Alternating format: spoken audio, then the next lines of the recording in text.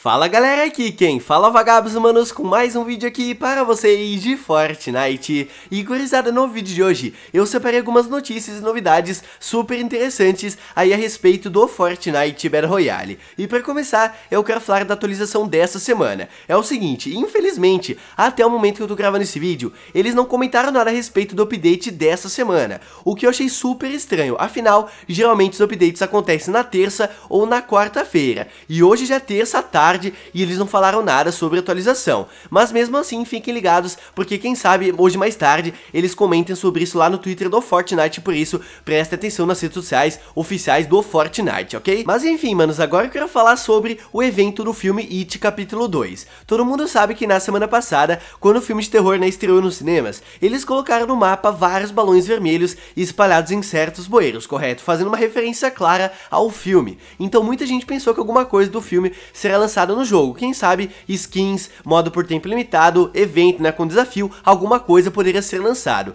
Mas até hoje nada foi lançado, tanto é que ontem eles já removeram do mapa os balões vermelhos. Então muita gente já perdeu esperança de que alguma coisa do filme vai acontecer no Fortnite. Mas olha só que interessante, recentemente um usuário do Reddit compartilhou um e-mail que ele trocou né, com o suporte da Epic Games. Ele perguntou sobre os balões vermelhos, e o suporte da Epic né, respondeu que o balão vermelho era apenas um teaser para um futuro evento do jogo. Só que muitas vezes o suporte da Epic Games comenta coisas que não acontecem no jogo, e além disso, esse e-mail né, pode ser editado, pode ser uma imagem fake também, ou seja, nada confirmado. Eu não quero dizer a vocês né, que de fato no futuro vai ter sim um evento do Witch né, com skins aí e tudo mais, mas mesmo assim é uma parada né, que pode deixar você com mais esperança ainda de que o evento pode acontecer ainda em breve no jogo, né, uma parada que eu achei importante falar aqui no vídeo para vocês. Outro assunto que eu separei aqui é sobre o pacote das lendas sombrias No vídeo de ontem, eu comentei que os itens do pacote foram encontrados dentro dos arquivos, ou seja, muitos leakers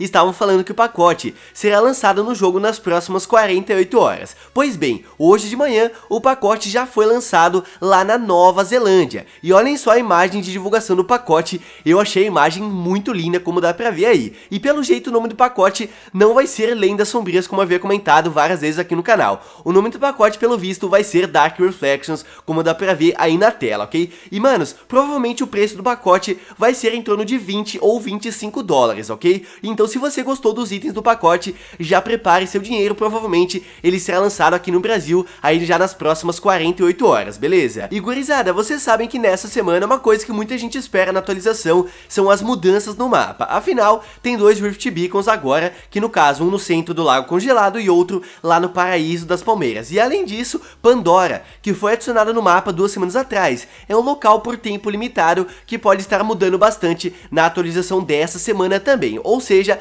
a galera né, já está criando várias teorias em relação às mudanças no mapa dessa semana. Mas tem uma parada muito interessante também que foi encontrada dentro dos arquivos na semana passada. Semana passada, como eu comentei aqui no canal, muitos itens foram vazados. No caso, o nome de vários itens que estão sendo desenvolvidos pela Epic Games. Skins, picaretas, mochilas, danças, enfim, né, todos esses itens aí lançados no futuro do jogo. Mas não foi só isso, foi encontraram dentro dos arquivos também dois locais do mapa que ainda estão sendo desenvolvidos pela Epic Games. Olhem só o que o Licker Hypers comentou no seu Twitter. Um local vazado se chama Demeter e outro Princess Castle, mas lembrando que os dois locais ainda estão sendo desenvolvidos, tá? Ou seja, é muito possível que eles ainda não estão prontos, ok? Só que ele comentou que ele acha que os dois locais aparecem nessa tela de carregamento aqui. Tipo assim, essa imagem, se eu não me engano, ela foi divulgada pela Epic Games no Twitter do Fortnite há muito tempo atrás. Como dá pra ver, aparece o anjo caído segurando a besta, tá ligado? E no fundo aí da skin tem um local que nunca foi adicionado no mapa do Fortnite. E eu lembro que naquela época, né, quando eles divulgaram essa imagem, eu comentei no canal que esse local poderia ser lançado no jogo, mas até hoje, muito tempo depois, o local nunca foi adicionado no mapa. Mas agora, com esses dois locais vazados, um chamado Demeter e outro Princess Castle, que combina né, com o local no fundo dessa imagem, quem sabe esse local pode ser lançado no jogo super em breve, mas é claro, se trata de apenas uma teoria, nada confirmado, tá? Só que, manos, tem um detalhe super interessante que digamos que agrega nessa teoria. Há pouco tempo, eles adicionaram no mapa lá em Colinas Assombradas uma estátua de uma anja. Eu comentei sobre essa estátua aqui no canal e eu falei que ela pode indicar uma skin sendo lançada na loja. Afinal, na sétima temporada, eles colocaram lá no bioma da neve aquelas três estátuas de gelo, do anjo, do corvo e da cavaleira ruby. Logo depois, essas estátuas viraram skins no jogo, tá ligado? Então quem sabe essa estátua da anja pode ser uma skin também. Mas além disso, ela pode indicar também um futuro local no mapa, como no caso, os dois locais vazados recentemente que eu acabei de falar, tá ligado? Mas como eu disse, é apenas uma teoria, nada confirmado por enquanto. Se tiver outra novidade, eu vou trazer aqui para vocês. Mas bom, manos, agora trocando de assunto, eu quero falar sobre as espingardas. Todo mundo sabe que há pouco tempo atrás, eles colocaram no cofre a espingarda de combate e a espingarda de tambor. Ou seja, eles removeram duas espingardas ao mesmo tempo do jogo. Com certeza, uma grande mudança nessa classe de itens do Fortnite. E é claro que a comunidade falou bastante sobre isso, afinal, é a classe de itens mais usada aí pela comunidade, tá ligado? Pois bem, manos, eu já comentei sobre isso aqui no canal, que muita gente acha que a Pump lendária e épica agora tem que voltar no jogo. Mas agora eu quero comentar sobre outra mudança em relação à Pump que o pessoal tá comentando bastante. Muita gente acha que agora a Pump tem que ser adicionada nos baús. Se você não sabe, a Pump não dropa nos baús, tá? Você só encontra ela espalhada no chão do mapa. Se não me engano, ela só é dropada nos baús dentro da cidade torta, mas o resto do mapa todo você só encontra ela no loot do chão, ok? E a espingarda de combate era a única shotgun dropada nos baús. E agora que ela foi removida, muita gente acha que a Pump tem que ser adicionada nos baús também. Então, manos, deixa embaixo nos comentários se você concorda com essa opinião, se você acha que a Pump tem que ser colocada nos baús. E com certeza muita gente tá apoiando essa ideia por conta da volta da meta da Pump, tá ligado? Antes da shotgun de combate ser lançada, a Pump sempre foi a shotgun mais querida, né, mais utilizada pela comunidade. E depois que a de combate foi lançada, ela acabou, né, deixando a Pump um pouco de lado, mas agora com a remoção dela, a Pump voltou a ser a shotgun mais utilizada do jogo. Tipo assim, eu acho a tática lendária muito boa, mas com certeza a Pump atualmente é novamente a shotgun mais utilizada do Fortnite, e isso não dá pra discutir, tá ligado? Então, manos, muita gente acha que a Pump tem que ser colocada nos baús, mas muita gente comenta também que somente a Pump azul tem que ser colocada nos baús, ou seja, você poderia encontrar as Pumps verdes somente no chão e a Pump azul nos baús, mas é claro, é apenas opinião da comunidade, por enquanto nada confirmado. Pra ser bem sincero, eu não sei se eu apoio muito essa ideia, porque eu não sei né como é que é aí o drop de itens do jogo, mesmo assim eu acho que seria interessante a Epic Games colocar mais Pumps espalhados no mapa do jogo, porque tipo assim, quando a Shotgun de tambor tava no Fortnite, eu encontrava ela em tudo que é canto, tá ligado? Eu caía em qualquer casa, tinha a maldita Shotgun de tambor, e agora que ela foi removida, eu não encontro tantas Pumps assim, tá ligado? Com certeza a Pump é uma Shotgun que tá, digamos que um pouco nerfada no quesito de quantidade, aí no mapa do jogo eu acho que um aumento na quantidade seria bem interessante também, mas é claro, comente o que você achou aí da opinião da comunidade e qual a sua opinião a respeito das espingardas,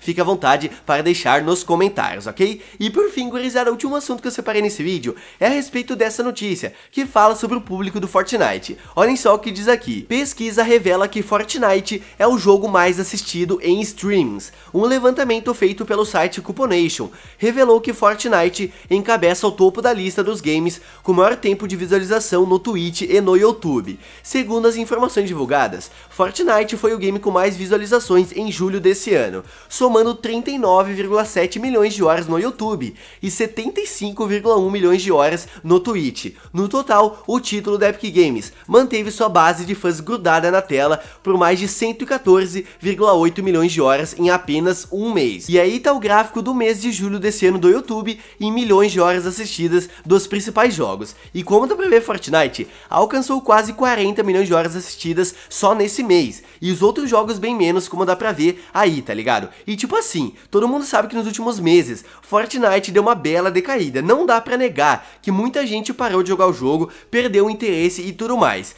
Só que isso já era esperado, afinal não tem como o jogo ficar tanto tempo no hype, né? Então de fato Fortnite deu uma bela decaída nos últimos tempos. Mesmo assim, o jogo continuou muito bem no quesito de visualizações no YouTube e na Twitch, em comparação com outros jogos, como dá pra ver aí no gráfico, principalmente na Twitch. Essa é uma notícia muito boa para os streamers. Eu conheço muita gente que parou de jogar Fortnite e mesmo assim acompanha as lives do jogo. Eu, por exemplo, há muito tempo atrás eu parei de jogar Rocket League e mesmo assim eu acompanho de vez em quando certas lives do jogo porque eu gosto, tá ligado? E eu sei que muita gente faz isso até hoje com Fortnite, ou seja, é uma notícia bem interessante, né, bem bacana, que eu queria trazer aqui pra vocês no canal, avisando que Fortnite deu, pode né, ter caído o número de jogadores, mesmo assim em visualizações continua muito bem em comparação com outros jogos aí, então deixe embaixo nos comentários o que você achou dessa notícia aqui, ok? Mas então é isso, galera, espero que vocês tenham gostado aqui do vídeo, deixe embaixo nos comentários a sua opinião sobre os assuntos que eu falei aqui, o que você achou da ideia da Pump ser colocada nos baús e o que você espera da atualização dessa semana,